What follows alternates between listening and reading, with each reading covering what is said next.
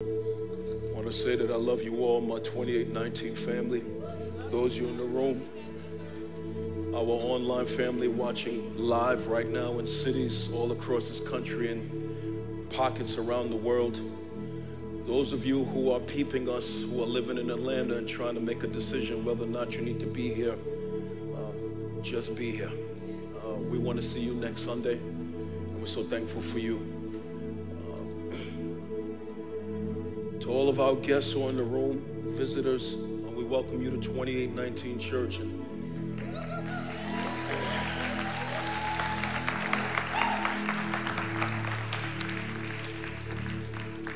uh, to all of our uh, friends who are not yet followers of Jesus Christ, uh, we welcome you. We are in the last four messages, last four installments of a series called Kingdom Gems.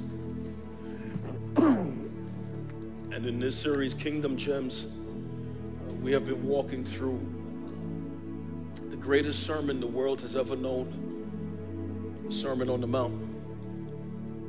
Full length sermon recorded by our Lord Jesus Christ in the first century AD. Um, we've been walking through this sermon line by line, verse by verse. I want to keep reminding you as often as I can before we land the plane on this series that this is the blueprint for the best life possible. I don't know how else to tell you. I don't know how else to convince you. Out of 20 years of reading God's word and being convinced of the wisdom of God's word and just pairing into this one particular sermon, there are millions of sermons that have been recorded throughout history. This one sermon is the blueprint for the best life possible. It is the blueprint for human flourishing and personal thriving. And when the people of God lean into this sermon that has been preserved for us in the New Testament, in the book of Matthew, written by an outcast Jew saved by Jesus in the first century, a human being in this life, a follower of Christ, will live the best life possible. I find it a tragedy that the most important things Jesus said is also the least thing that is obeyed amongst the Christian church, especially in the United States of America. And I'm going to fight in these last four weeks to keep reminding you that with all of your complaints, with all your gripes, with all the things you're frustrated about, you will enter into the best life possible to the degree you lean into the teachings that are preserved for us in the Sermon on the Mount. Amen, my brothers and sisters.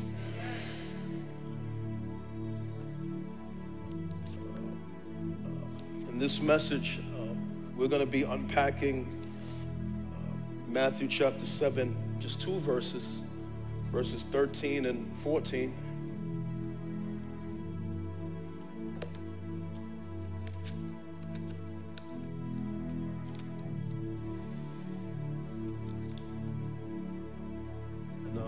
I want to give an appropriate title to this text for my note takers.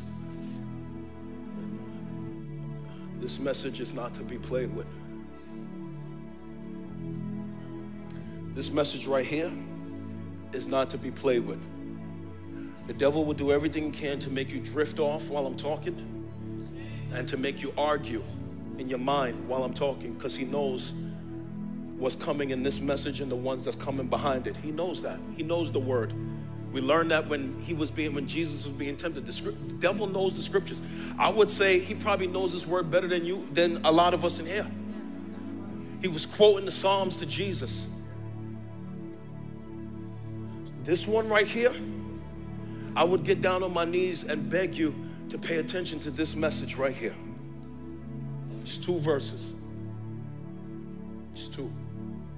Let's let's tag a title to this text. We're just gonna call it um, only two ways. Not three, not four, not purgatory.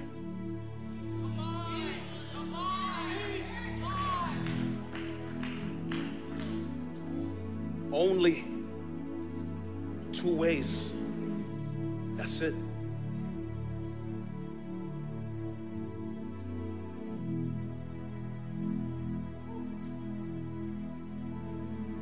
Spirit of the living God.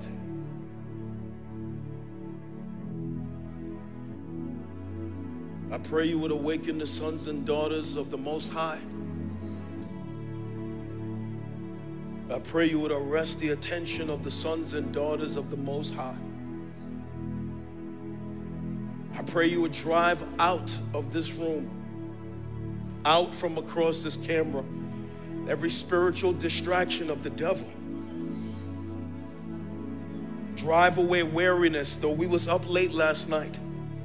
Give us supernatural strength and stamina for the word of God. Open our eyes to see and our heart to believe. Give us revelation and insight for what is more than a sermon, what is your divine word coming from heaven. Help this weakened earthen vessel.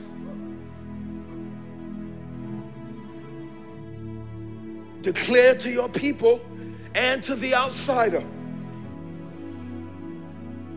these salient truths. These words cannot fall to the floor. agitate us,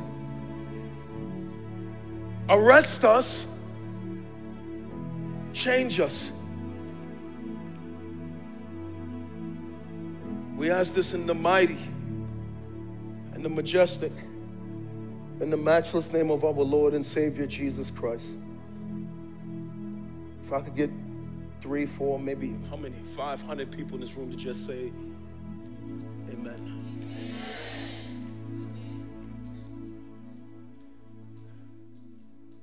only two ways. Family, I want to start this message by making a very bold statement that in your hearing, when I make this statement, I already know is going to evoke different emotions in the room and across this camera. Yet the statement is very important and it is laced with a lot of truth, and it is this that your family and your experiences notwithstanding, for the most part, every single person in this room, everyone watching me right now across this camera, you are, for the most part, right now as I'm talking to you, the sum total of your personal decisions.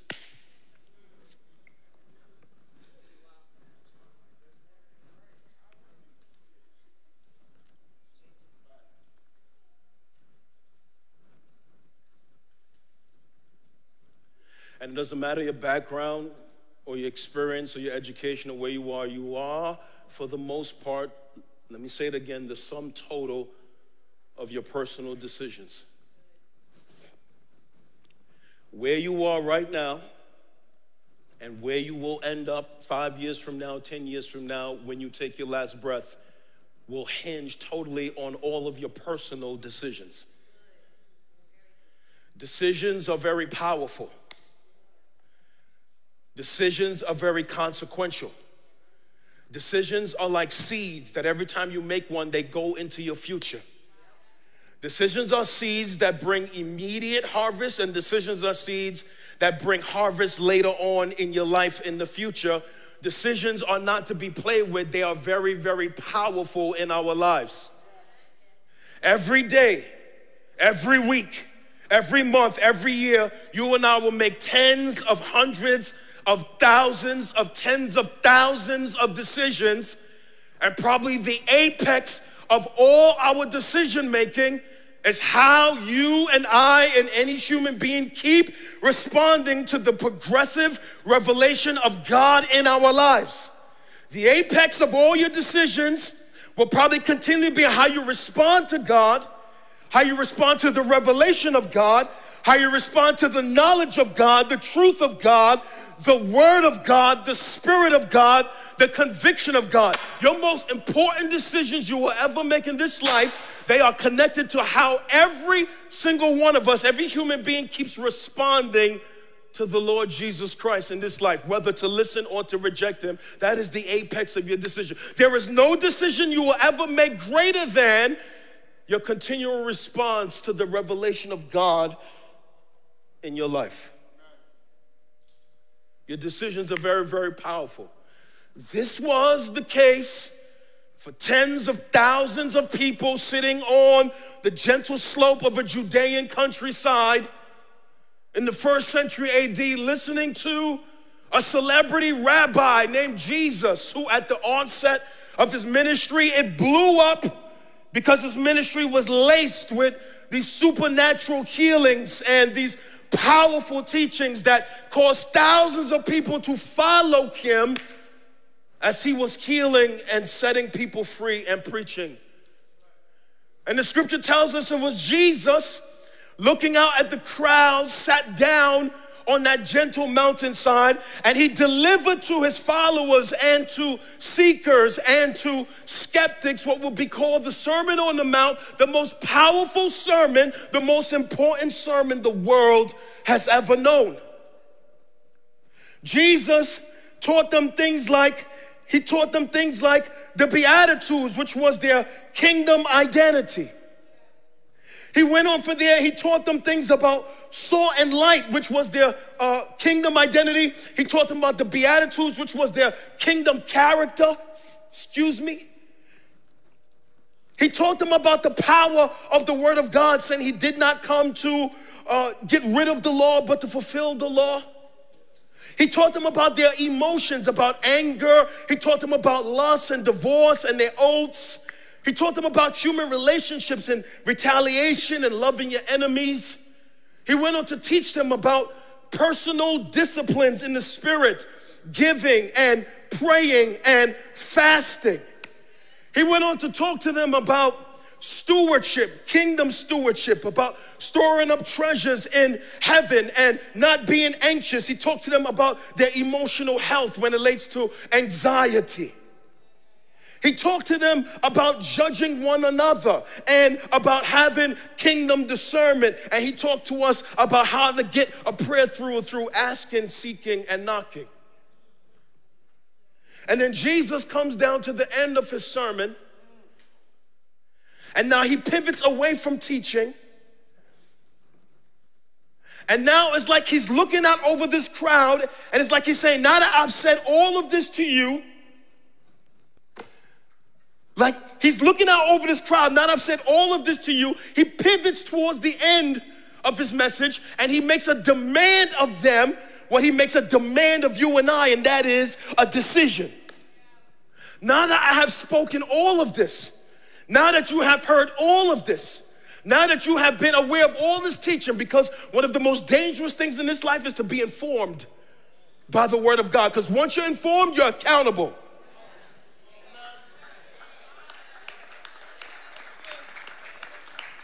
I mean, you can go around and stick your fingers in your ears and act childish if you want, but once you've been informed, you're accountable for what you've heard. And now that they have heard everything Jesus has to say in the Sermon on the Mount, he comes down and he demands of them what he demands of you and I, and that is a decision.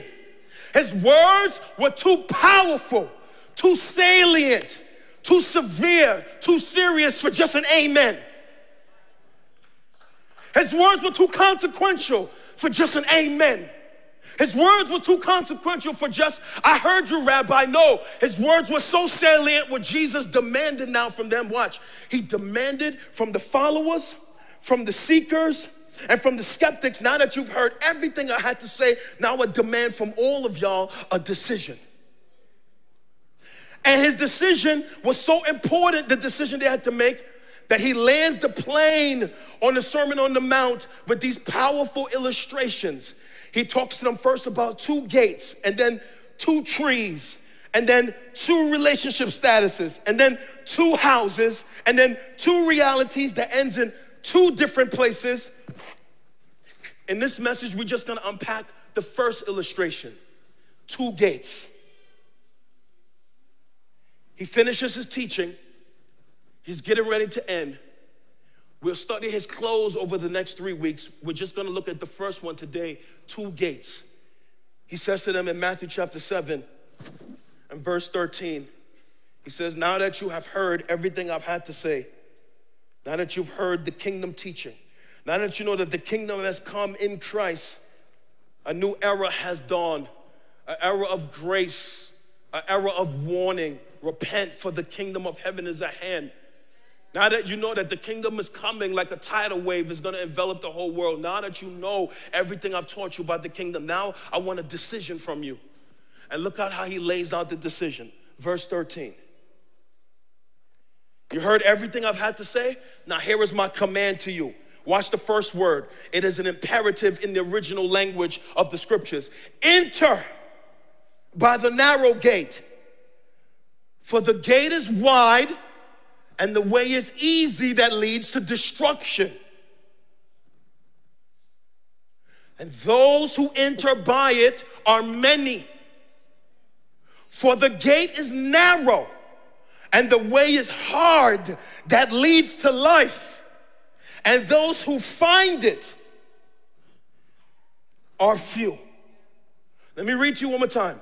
Jesus finishes his teaching and he says to them, Enter by the narrow gate, for the gate is wide and the way is easy that leads to destruction, and those who enter by it are many. But he says, For the gate is narrow and the way is hard that leads to life, and those who find it are few. So it's like Jesus was saying to them what I'm saying to you right now. That it doesn't matter what you believe, in the eyes of God, there are only two gates that lead to two ways that have two different endings. It doesn't matter what you believe or what you've been taught or what you've read on the internet. According to Jesus, in the eyes of God Almighty, there are only two gates, two ways that lead to two different endings and if you study the words of Jesus carefully, if you follow his logic, watch, every single human being is in one of these two gates.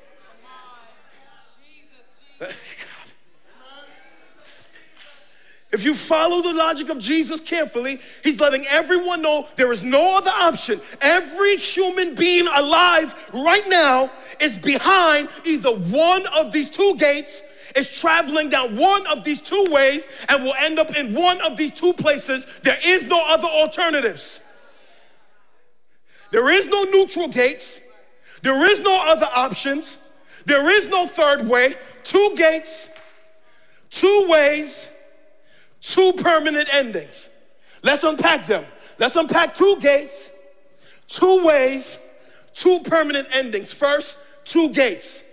What do we know about these two gates? He says that there are two gates one is narrow and one is broad.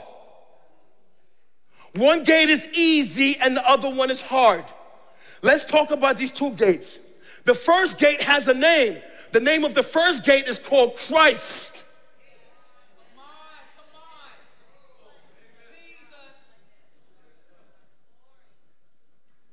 The only way to enter that gate, that gate requires a, a payment. It requires a payment of surrender, a payment of faith, a payment of belief, a payment of turning away from my former life. To enter into that gate, you cannot enter for free. That gate comes at a cost. The cost to enter that gate is salvation, it is repentance, it is turning my life over to Jesus Christ, it is being regenerated by the power of the Holy Spirit. That gate is narrow. That gate doesn't have enough room for my will and God's will.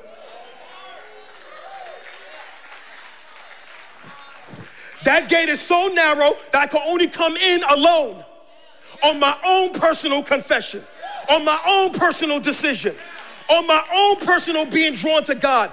I can't come through that gate on my grandmother's faith, on my father's faith, on my auntie's faith, on my brother's faith. I gotta walk through that gate alone. I got to walk through that gate naked. I got to strip off the old man to begin my journey behind that gate. That gate is narrow because I can't come in with my wife next to me because I got to give my own account before the Lord. So I got to walk through that gate by myself.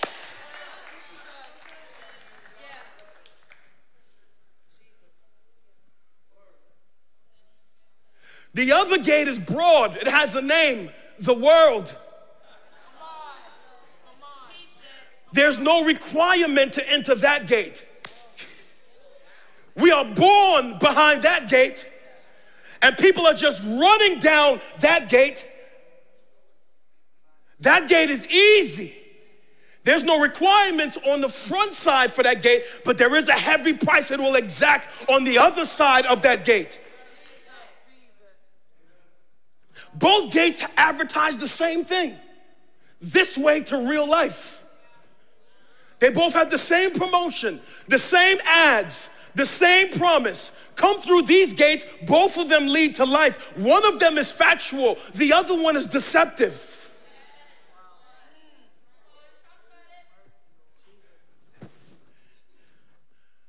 So both gates make a promise, but one, one gate delivers on that promise. And look what Jesus said. He didn't even leave it to you to figure out which gate you should go down. He, he loved you so much. He loved the people who was listening to him so much. He didn't want, listen, he cared about their soul so much. He didn't, he didn't even leave it up to you to figure out what gate to pass through. He says, enter the narrow gate. This word enter in the original language is an imperative, it is a command, it is forceful, it is a warning, it is come in here, get in here, come through this gate, come to me, surrender to me, follow me, come after me. You don't want no parts of the ending of the other gate. So we see we have two gates. One is narrow and one is broad. One gate has a name, it is Christ. The other gate has a name, it is world. Both of them make the same promise this way to real life. One gate will deliver on that promise, the other gate is deceptive. Two gates. What's behind these two gates? Let's talk about the two ways. The first way says it is easy. Let's talk about that way. And it is broad.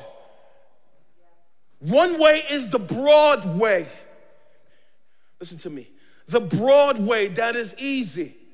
It is paved with all the pleasures of this life. It is paved with everything you want to do in this life. That road is easy. It has no real sacrifices on that way. No sacrifices to God on that way. No turning away from sin on that way. That way is easy.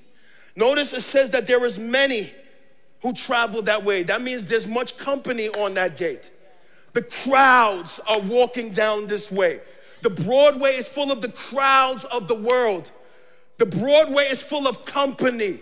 The Broadway is full of people who want to go in that direction. That's the Broadway. It has space for the whole world, that Broadway. Who are some of the travelers on the Broadway? The self righteous are traveling down the Broadway. People who, who are trying to watch, earn something from God with good behavior and with morality. The people who think that because I'm a good person, I'm going to heaven, or because I'm moral, I'm going to heaven, or because I was baptized as a baby, I'm going to heaven when you just got wet that day. The Broadway is all of the self righteous, all of the people that think that because of their performance, and their good behavior and their morality, I'm guaranteed a ticket into heaven. Who else are the travelers of the Broadway? The self deceived. The self deceived are the travelers of the Broadway. The atheist is on the Broadway. The agnostic is traveling down the Broadway. The pagans are traveling down the Broadway. Every spin-off of Christianity is traveling down the Broadway. People attending the Kingdom Hall are on the Broadway. The Mormons are on the Broadway. Every false Christian religion is on the Broadway. People who don't believe in God are traveling down the Broadway. Scientists who got 18 degrees, who the scripture calls a fool, the fool says in his heart, There is no God, are on the Broadway. The Broadway is full of everybody we admire in society.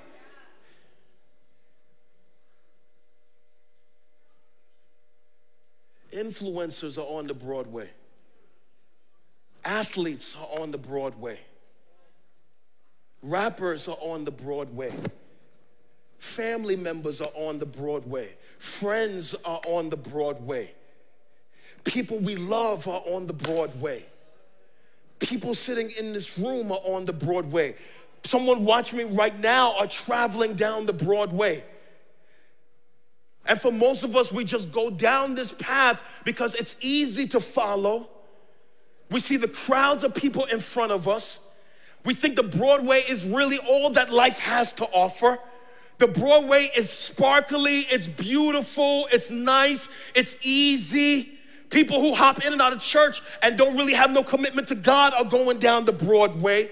People who are vacillating are going down the Broadway. I mean, millions and millions and millions of people are traveling the Broadway. Whole nations are going down the Broadway. Islamic nations are going down the Broadway. Whole countries and nations are traveling down the Broadway. Somebody sitting on your road right now is traveling down the Broadway. You got people in churches all across America right now Right now, as I'm talking to you, they are traveling down the Broadway.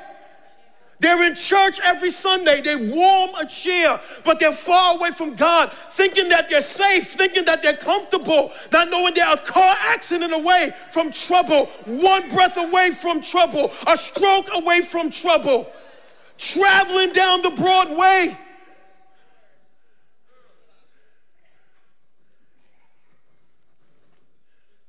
Satan is the architect of the Broadway. He is the foreman of the Broadway. He is the builder of the Broadway. He has put at the front of the gate of the Broadway everything that is sparkly and tickles the flesh and tickles the ears. Everything we love in our human desires, He's put at the front of the Broadway. He's dangling carrots for all manner of unsuspecting people. Keep coming down the Broadway. He's blinding people from the knowledge of God as they're walking down the Broadway. Stay away from church. Stay away from preaching. Stay away from real teaching. Stay away from biblical ministry. Keep doing you. Do you live your truth on the Broadway? Everybody got their own truth on the Broadway. They're trusting in crystals on the Broadway. They're trusting in horoscopes on the Broadway. They're trusting in fortune tellers on the Broadway. They trusted in the little juju bees and the idols you have in your pockets and in your house on the Broadway.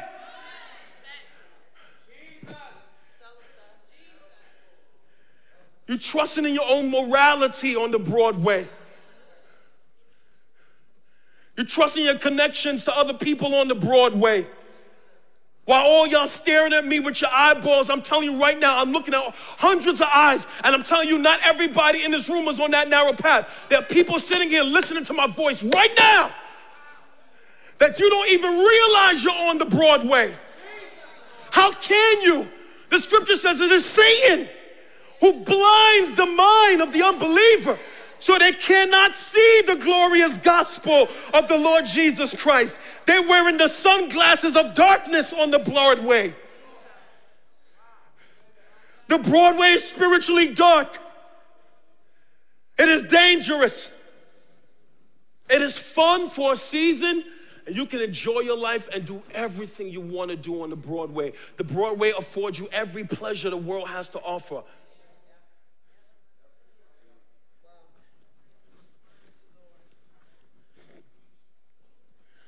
I shed tears this morning for family members and friends who are on the Broadway.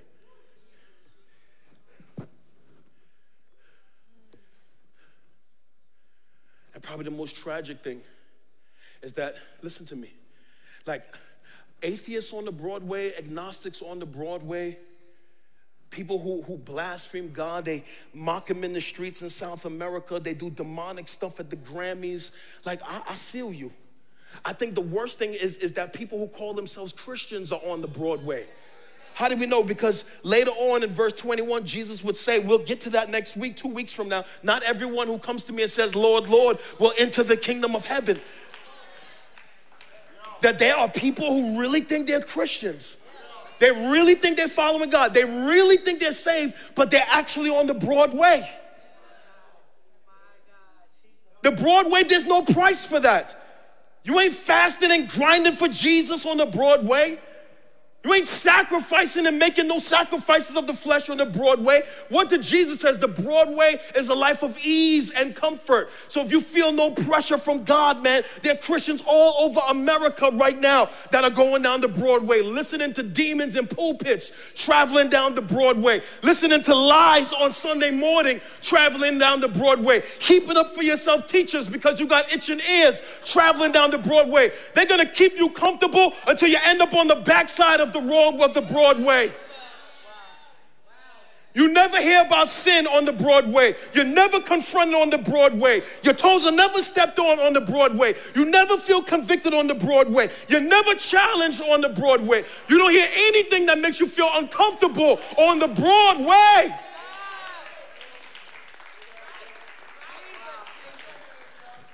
You sit in churches where they never talk about sin. They never challenge you about your life. Auditoriums are packed with Christians on the Broadway. Jesus said this many will come to me on that day and say, Lord, Lord.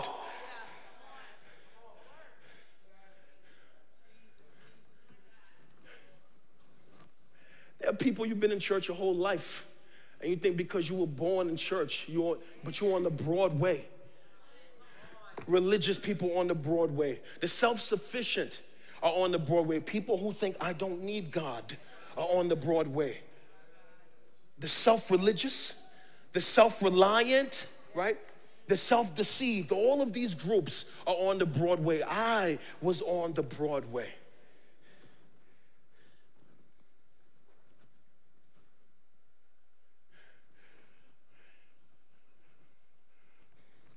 Y'all sitting here staring at me, and some of you I'm talking to right now. You got family members and friends. You, you, you're so churchy, they're on the Broadway. You ain't praying for them because your prayers are full of yourself. And you never hear teaching like this on the Broadway. I got people I love who are on the Broadway who have no idea what's coming at the end of that path.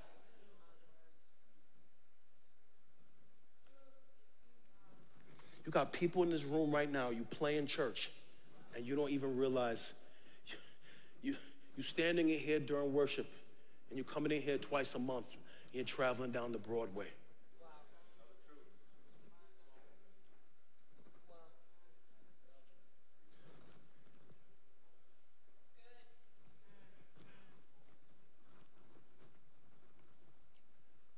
But Jesus said, There is another way.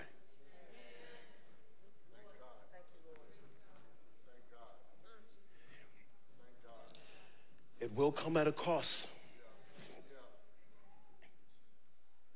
It will cost you a confession. It'll cost you your will. He said that way is hard. He said that way is hard.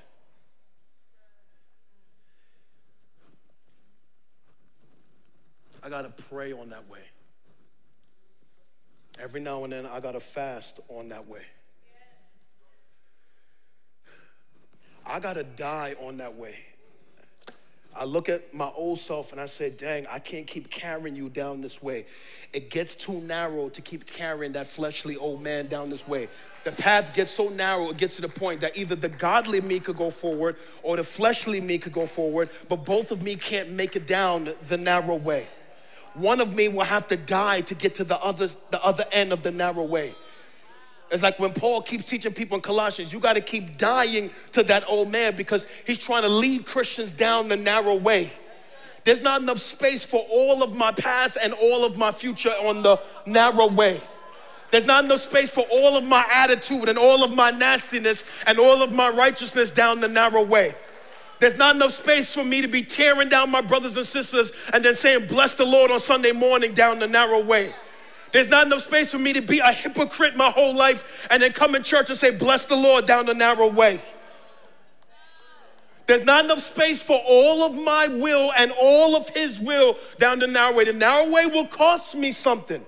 It may cost me my will. Can I go further? Can I go a little bit deeper? I'm about to hurt, especially us American Christians. It may cost you your pre salvation dreams.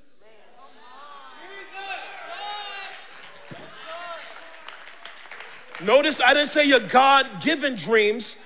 The narrow way may cost you your pre salvation dreams. I wanted to be an attorney. The narrow way did not afford me that. I wanted to do something else with my life. The narrow way did not afford me that. I was headed to law school, then was called into the ministry. The narrow way did not afford me that. It may cost you your pre salvation dreams. It may cost you your personal will. It may cost you your nasty attitude, your bad ways. It may cost you your bad mouth. It may cost you your bitterness, your unforgiveness, your revelry. It may cost you your, your false will to hold on to grudges. It may cost you unforgiveness. It may cost you keeping people in your heart like it's an apartment instead of letting them go.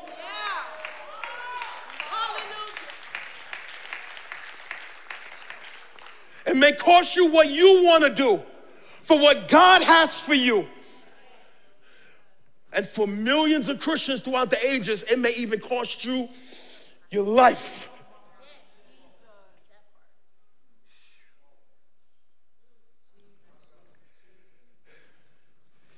Two gates, two ways, only two permanent endings. The first one, Jesus said it. This Broadway, he says it leads to this word called destruction. You could travel it for 20 years, 30 years, 40 years. You can build a massive fortune. You could be wealthy and famous, but when your last breath is drawn, if you was traveling on that Broadway and your breath leaves your house, Jesus says the end of the Broadway, watch this, is this word called destruction. That's a toned down word for eternal damnation, permanent separation from God, in consciousness of a fiery hell that Satan designed to bring people in this life captive all the way down to this place of destruction, a place God created for the devil and demons. That he did not intend for people to be there. But the God of this world is blinding all these people on the Broadway and is trapping them with, with carrots to lead them all the way to destruction. That you can't see the end on the Broadway until you have taken your last breath. You wake up on the other side of eternity. You cry for mercy, but it's too late. And Jesus said, but the narrow way, man, it ends where? In eternal life. Some of you, not just heaven, you got the wrong concept of heaven. You think heaven is just harps and floating around on crowds, on clouds. Man, that's boring to me. I, am a, I'm a, I like activity. I can't be playing a harp and floating on a cloud forever. See? See? Some of you even been taught wrong. Heaven is temporary. Can I teach? Heaven is, you need to read Revelation. Heaven is temporary. How could that be? The scripture says in the end, God Himself. I heard somebody say the other day to be absent from the bodies, to be present with the Lord. No, only for the believer. So when the believer dies, they go straight to the presence of the Lord. But the scripture says, Where is the Lord? He is in heaven at the right hand of the Father. Will he stay there forever? No. The scripture says that when all is said and done, the Lord will watch, return to the new earth, new trees, new water, new nations, new rulers. A whole new world with no sin, no darkness. I'm done, Frank. the Lord will return with his saints to the new earth. And there they will be in the new earth, new trees, new nations, new worlds, new life, new government ruled by Jesus forever. We'll be living and breathing and eating and picking fruit from a tree of life and drinking water so clear we've never seen before.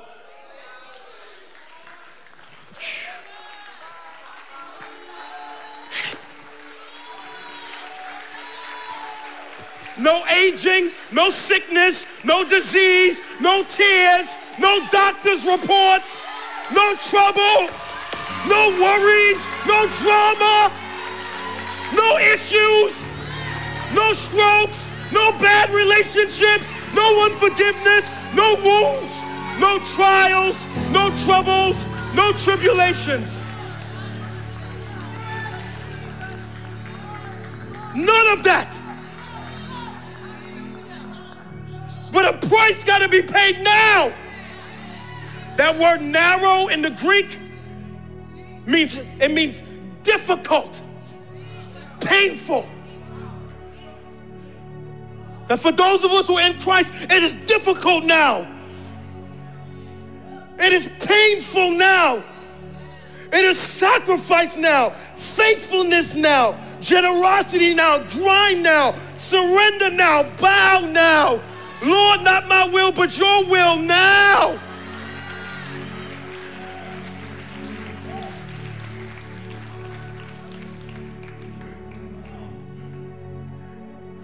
It's the payment we got to make now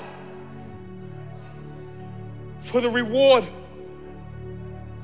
of the end of the narrow way. Two gates, two ways, two permanent endings. There is no other option. There is no other way. There is no purgatory. There is no getting out of hell. There is no do over. There is no second chance when you draw your last breath. You get one shot to get this right. The writer of Hebrews says it is appointed to a man to live once and then he must face the judgment. You get one shot and your shot ends when you draw your last breath. He said, Well, I'm young, I'm in my 20s, I'm a millennial, I'm a Gen Z, I'm balling. You don't even know when your last breath is coming. I graduated from North Carolina Central University in Durham, North Carolina, and one of their one of their one of their athletes died, a 20-something year, died this week. One of my friends was 40 something years old, 40 years old, died this week. When your last breath is drawn, whatever gate you was behind, whatever way you was on, man, it seals your fate. This is why Jesus yells at the people on that hillside enter into the narrow gate. Get in here. This is safety. This is real life. This will lead you to the end. Come to me. Run to me. Surrender to me. Get in here. Come through that gate. Yes, it's narrow. Yes, it's difficult. Yes, it's going to cost you. But what you get at the end,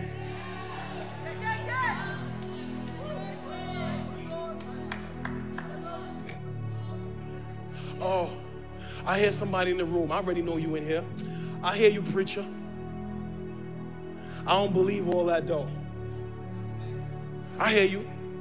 All right. Cool. Don't believe me. But who's talking? It's red. Who's talking? You know who's talking? The Son of God the one who came from eternity, the one who performed miracles, the one who was raised from the dead. Watch, the only person that knows what's on the other side of death, the one who came from eternity into time to tell us, go through the narrow way. How could you not believe him?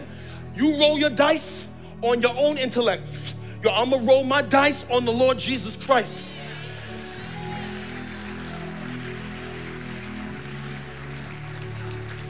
Our boy MG in here. When we was young, we used to play this game called CeeLo in Queens, right? If you if you roll, if you lost, you roll what's called craps. If you win, you roll what's called CeeLo. I got four, five, six. You don't gotta believe me. But watch, you gotta make a decision though. Either Jesus is telling the truth or he's a liar. You could gamble with your life and your last breath to see was he credible or not.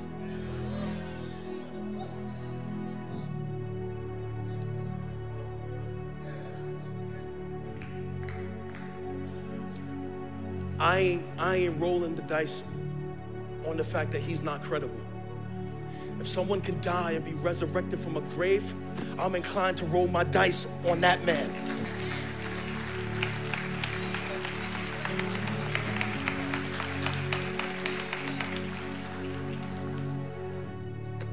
Two gates.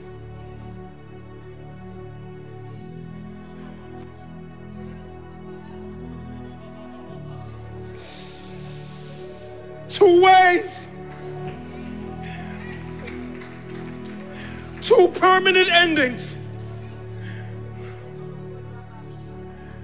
And when you hear the Lord knocking on your heart, you got to make your own decision.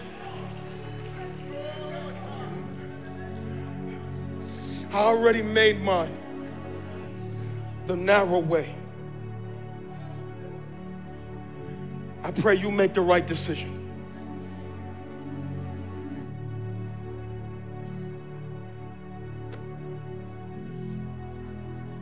Let's pray.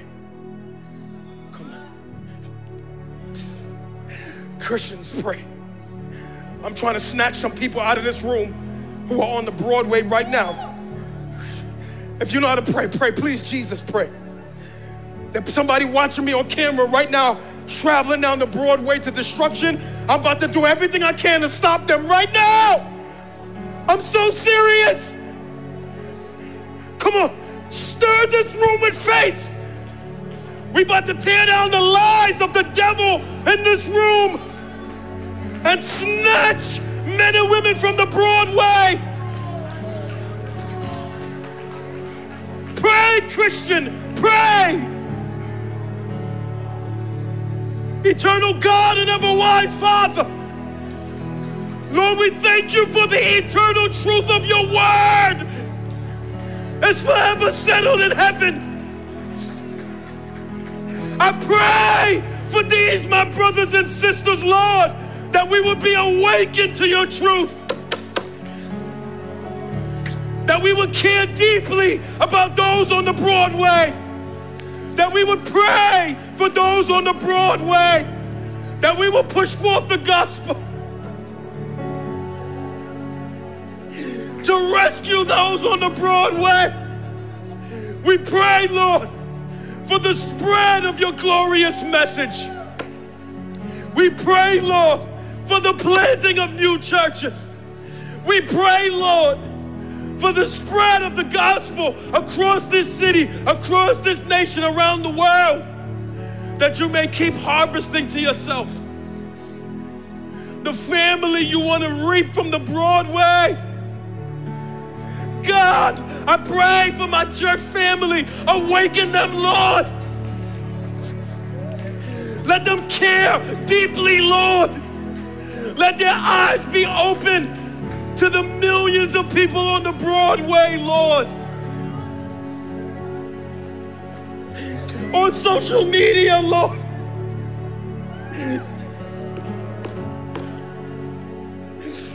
All across this nation, let us be aware of the millions of people on the Broadway, Lord. Let us cry out for their salvation, Jesus. Awaken your sons and daughters in this nation, Jesus. Now, Lord, do it now. Before time has run out, God, awaken us, Lord.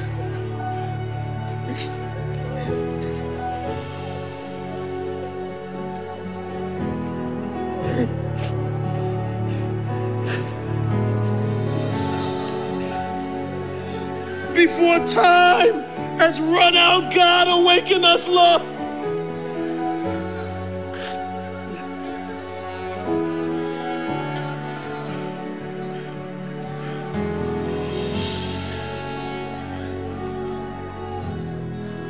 Listen to me. Keep your head bowed and your eyes closed. I ain't even playing around with you. You in this room, you're not saved. You don't belong to Jesus. You've been in church your whole life and you're not saved. You traveling down that Broadway and you're not saved. You know it because you're not paying no price for Christianity. You got one foot in the world, one foot in the kingdom. You already know who you are. Man. Pray, believers, pray. The Lord Jesus Christ died for you. Lived a perfect life that you could not live. Died a sacrificial death that you could not pay. To exchange your punishment for forgiveness. and if anyone would just repent, put their faith in Christ, the scripture says you could be made new, you could be regenerated, not by some fancy prayer, but by the power of God. I want to pray for you. Man, you already know who I'm talking to. I ain't playing around. Come meet me at this altar right now. We ain't playing. Get off that broad path. Get off. Get off the broad path. Come on, Ryan. Get off that broad path. Get off of it. Come on, get off of it. Get off of it. Get off. Get off of it. Come over that Broadway. Come on. Get off of it.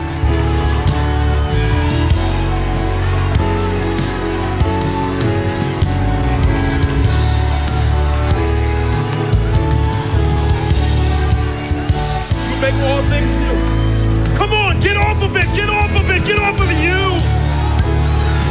Get off of that Broadway, get off of it. Come on, get off of it, get off of it. Come on, get off of that Broadway.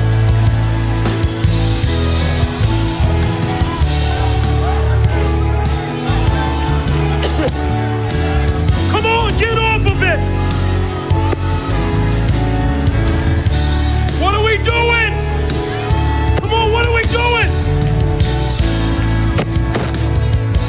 Come on, get off of that Broadway. You.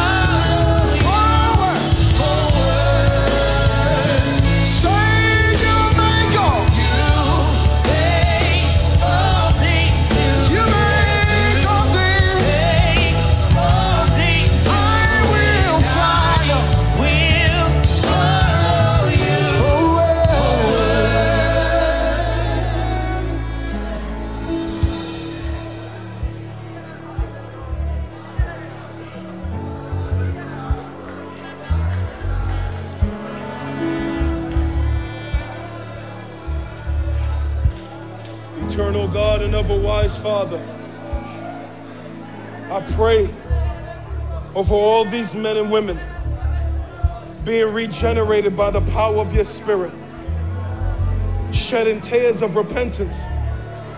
These are the harvests of the preaching of the Word of God. These are your new sons and daughters. May the Lamb who was slain receive the reward of his suffering. We thank you that they belong to you, that all of their sins have been forgiven, that they have been washed in the blood of the Lamb, that their names have been recorded in heaven, that eternity is their home, and hell was their former destination. We thank you that the devil just lost these.